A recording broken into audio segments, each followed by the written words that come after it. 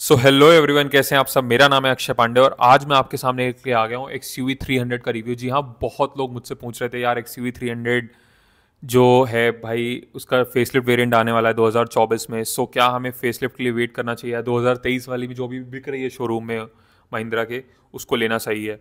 सो so, अब भाई मैं आपको इसका पूरा रिव्यू देने वाला हूँ जो कि डब्ल्यू सिक्स मॉडल है मेरे सामने आज और सबसे वैल्यू फॉर मनी मॉडल है और क्यों है उसको मैं भी जस्टिफाई करने वाला हूँ। बेस्ट मॉडल है ये अगर आप एक्स यू थ्री हंड्रेड लेने की सोच रहे हैं। पहले मैं आपको कुछ इमेजेस दिखा देता हूँ X U four hundred face lift की जो लीक हुई हैं।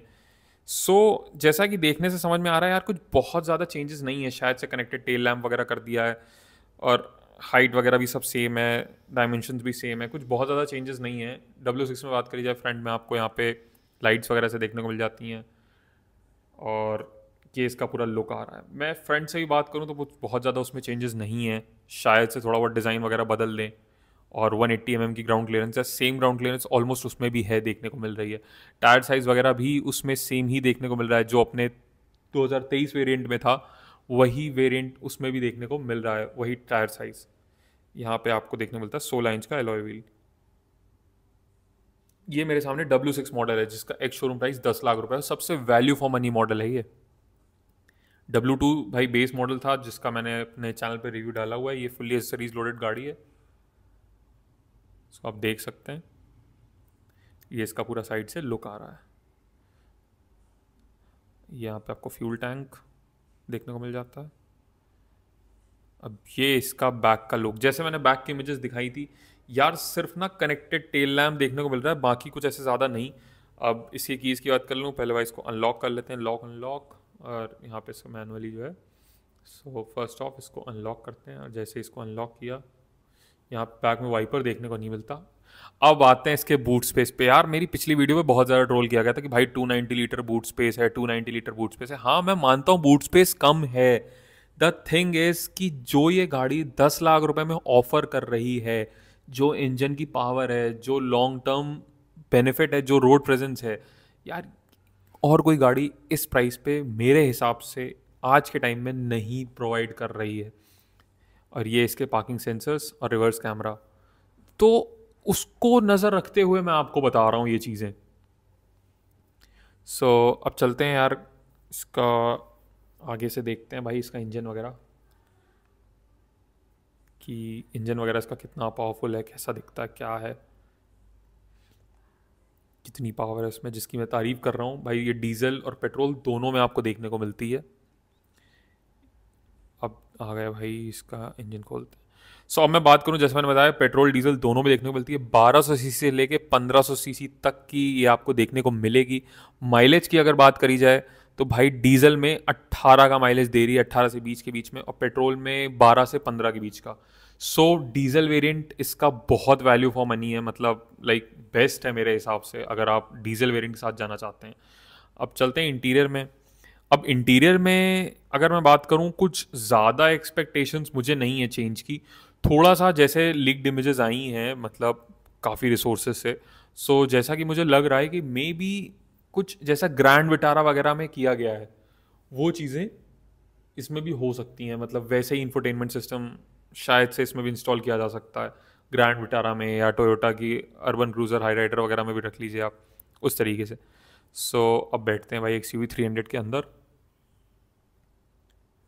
और जैसे इस गाड़ी के अंदर बैठे हैं भाई फील तो है यार।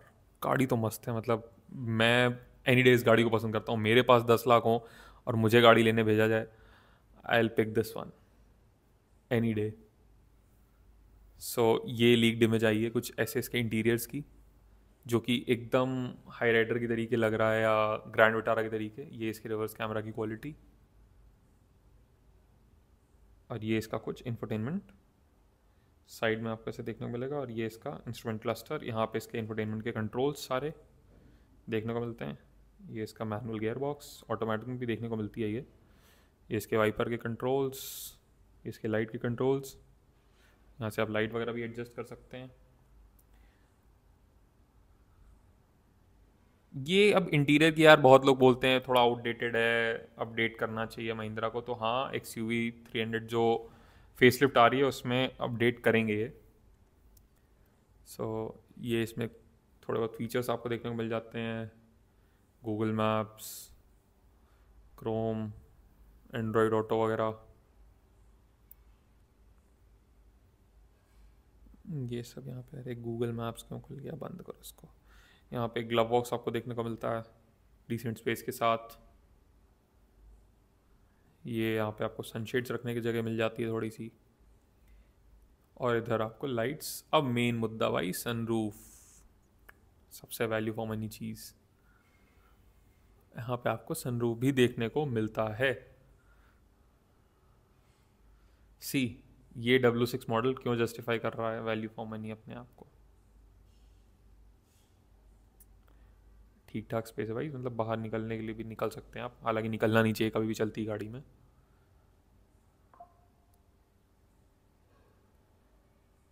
और ये आप इसको मैनुअली बंद कर सकते हैं। सीट वगैरह की क्वालिटी करी जाए भाई। बढ़िया लेदर फिनिश में फैब्रिक अच्छा यूज़ किया गया है। यहाँ पे आपको पूरा मैनुअली एसी कंट्रोल्स देखने को मिलते हैं। और यहाँ पे साइड में आपको दिया गया है भाई एक आर्म रेस्ट जहाँ पे स्टोरेज भी है थोड़ी सी दो कप होल्डर्स मैनुअली एक हैंड ब्रेक वगैरह एडजस्ट करने के लिए। ये इसके पूरे।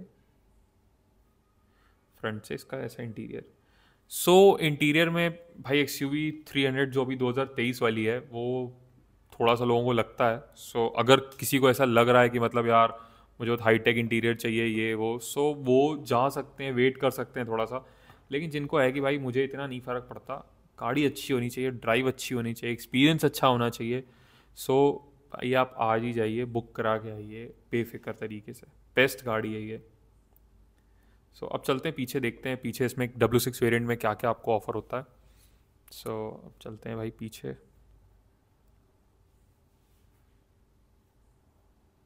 और पीछे जैसे ही आते हैं भाई, ये एलिमिनेट हो रहा है, ये खैर सीरीज़ का काम है। यहाँ पे साइड डोर्स में आपको ज़्यादा कुछ ऑफ़र नहीं हो रहा। बॉटल होल्डर मिरर और केबिन पीछे से भाई मस्त लग रहा है देखने में। जिसका इंटीरियर है ना, ऐसे वाइट में ब्लैक के साथ, ये मस्त लग रहा है ऐसे बीच में ब्लैक के साथ।